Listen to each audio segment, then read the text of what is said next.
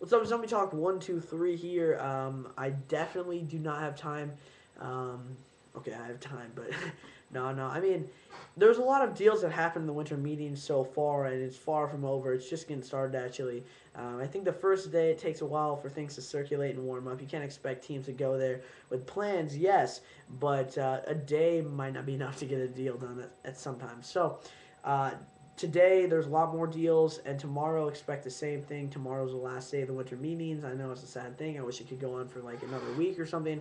Um, but i think we had enough albert Pujols rumors for one winter meetings and it looks as though he will appear uh, to re-sign with the cardinals. I'm sorry for you see me looking down at my ipod.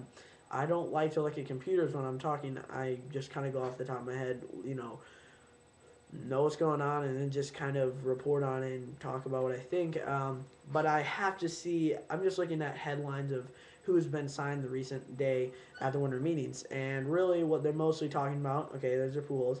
The Marlins signed Mark Buehrle. I made a video on that. You can go check it out. I don't really talk. I don't want to talk 10 minutes on Mark Buehrle. So, um, a good deal for the Marlins though, um, and I think it was smart for them to go from Pujols to pitching because uh, I think he will have a bigger impact than Pujols will in the Marlins. The fact that Gaby Sanchez is young, put up great numbers. Yes, Pujols would have made a big impact on the franchise and uh, the fans. I think uh, team-wise, I think they are fine without Pujols. Um, and really, you know, offering him a 10-year deal is very risky. Um, so then you look at the Pirates sign Erik Bedard. Very good deal for the Pirates as as uh, you see last year they improved their rotation a lot, getting uh, Kevin Correia. Um, and some other guys, and, and the rotation looks a lot better. You know, with Jeff Karstens and other guys developing, they're trying to get over 500 for the first time in like 20 years. So for them get Erik Bedard, a very solid uh, starting uh, pitcher, very solid move for the Pirates, very good move, and look for him to. I think he'll probably go get 12 wins next year as a Pirate. My prediction, 11 or 12, maybe nine. I think that's the lowest, so nine. Wait, uh, Yankees win rights to Hiro Hiroki uh, Nakajima. Sorry, I'm really bad with names sometimes. Um, Hiroki Nakajima. I'm guessing that's how you say his name. Um, so it was like two million dollars. wasn't as big as I expected. Um, some people were making a really big deal about this shortstop, um, but I'm not sure if the Yankees are going to reach an agreement with him. I don't know if they really want to pay him that much money. Uh, he could end up just playing with Japan. I, I don't know yet. I have no idea honestly. Um, I'm not sure why the Yankees need him. I mean, they do have Jeter. They could develop him or try to develop him, even though he's played, you know, in Japan a lot. Uh, you know, who knows, honestly.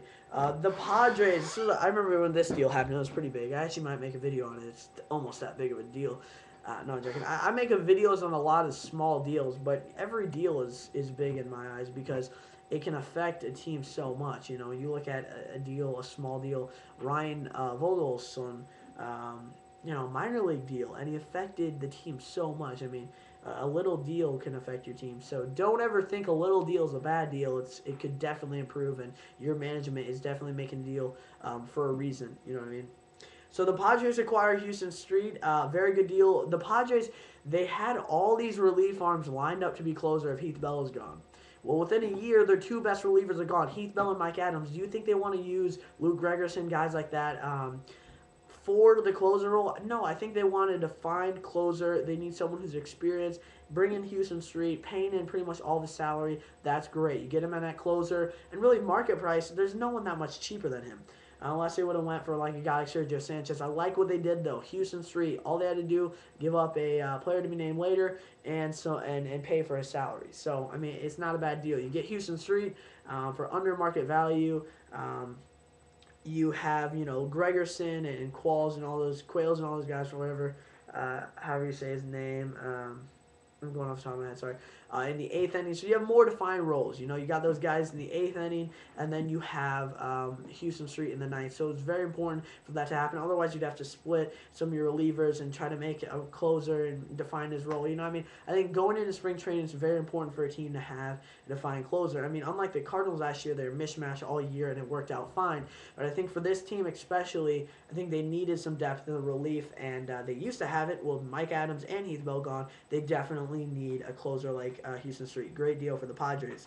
Uh, Pirates signed Nate McLouth. Now, I remember uh, I was a Cardinal fan watching Nate McLouth just bomb away on the Cardinals a few games. You know, he hit 30 home runs, uh, plus with the Pirates a few years ago, was dealt to the Braves um, at full value. I mean, this is when he was full value, and uh, and he just did not do well at all.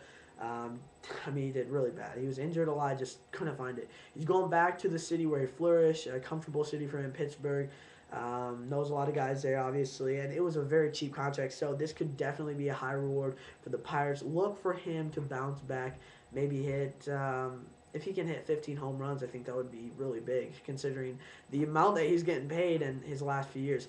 But right now, I think that he is he's obviously going to be used as depth in the outfield, maybe move to a corner outfield spot.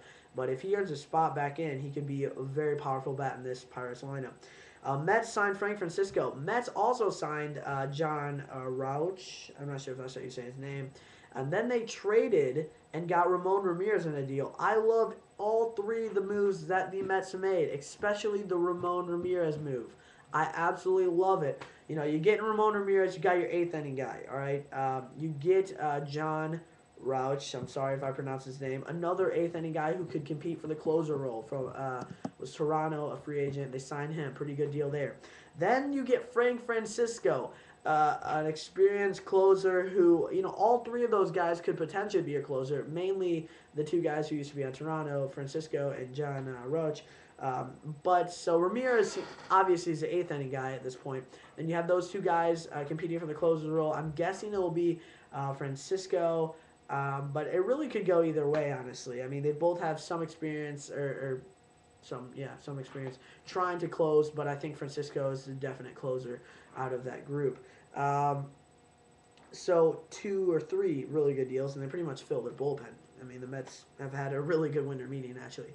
Uh, winter meetings, except for the fact that Jose Reyes was lost. But really, I mean, the Mets they can move on now. They lost, they saved a lot of money, and if you know he if he keeps getting injured like that, I don't know the Mets didn't want to, you know, give up more than $100 million in six years for him. Marlins can go ahead and offer that. Um, so I don't think the Mets were too upset because of the deal that he signed was way out of the price range.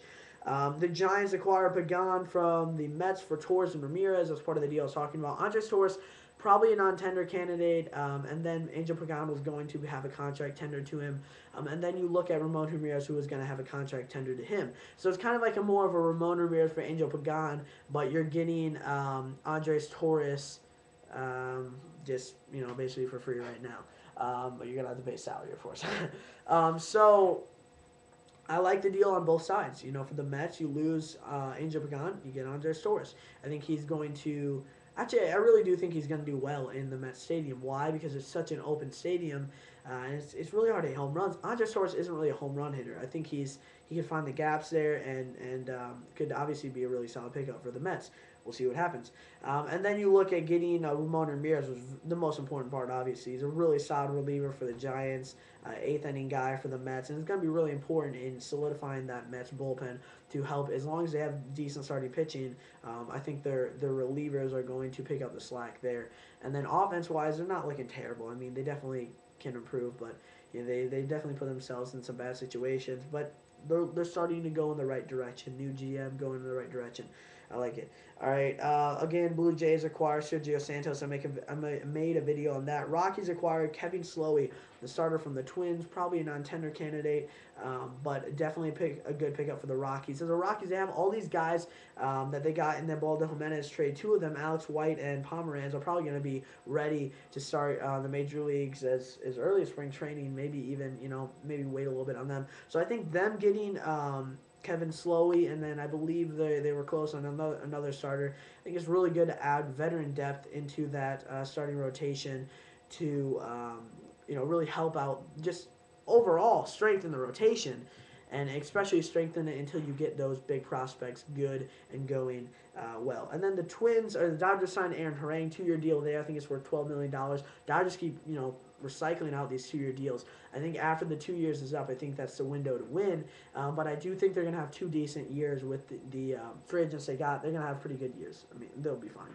The Twins signed Matt Capps. Um, solid move here. And by the way, Dodgers rotation is pretty much filled up now. Filled up. it is filled up. Uh, the Twins signed Matt Capps. Uh, you know, the Twins had to give up a lot for Matt Capps. They had to give up. Um, oh, I can't believe I just forgot his name. Wilson Ramos. Excuse me. Um, and then um, he didn't. He had one, you know, pretty good year. Didn't have a great year last year at all. They signed him though, pretty expensive deal actually. I think he's making like four or five million dollars per year. And then the Marlins signed Jose Reyes, of course. Uh, so some big deals happening in the winter meeting so far. Expect maybe more tomorrow. Maybe a Pujols resolution soon, and we'll see how that all goes. All right. Again, thanks for watching, guys. It's Zombie Talk one two three, wrapping up the first few days, or not the first few days. Yeah, yeah, first few days. The first few days or the last day of the winter meetings. All right. Thanks for watching, and please continue to watch. Again, uh, I don't like to mention this stuff, but I'm one subscriber short of 100, or at least the last time I checked. So I was thinking, I kept looking at these numbers, and I was like, wow, I could get to 20,000 uploaded views and 100 subscribers like at the same day. That's amazing. It could be tonight. So if you're just randomly watching this at like, you know, 9 o'clock or whatever, then just subscribe and you'll be the 100 subscriber. I don't have like any prize yet, yet. But uh, there might be something there. All right, thanks for watching again. Zombie Talk 123.